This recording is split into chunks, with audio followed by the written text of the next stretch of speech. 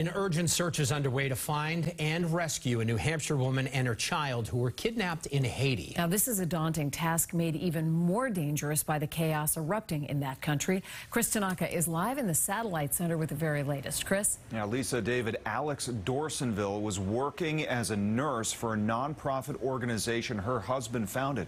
She was running a makeshift clinic to provide medical care for kids when armed men burst in taking her and her child on Thursday. Haitians are such a resilient people. They're full of joy and life and love. And I'm so blessed to be able to know so many amazing Haitians. That's Alix Dorsainvil speaking proudly, even lovingly, of her experience working for the nonprofit El Roi. That Haitian resilience she speaks of is tested every day. Violent gangs like the one that abducted her and her child are running rampant across the capital city of Port-au-Prince. We have very deep concern for the situation there, particularly with uh, regard to violence and the activities of, uh, of the gangs. Haitian President Jovenel Moise was assassinated in 2021, and since then gangs have filled the void with crime, rape, and general mayhem.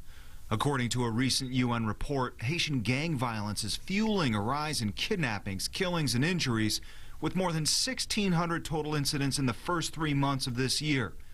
Kidnappings alone made up nearly 400 of those crimes, with a 12% jump from the previous three months. Imagine yourself in Manhattan with no police, no army, no governor, no mayor.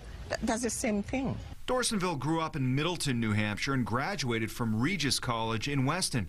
She and her child now swept up in the violence, leaving those who know them to pray for their safe return. Alix was very compassionate and cared very much for people who had great need. She was definitely um, a very special young woman.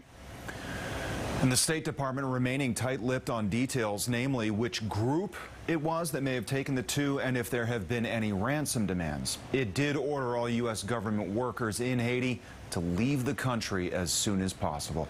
Lisa? All right, Chris, thank you for that update.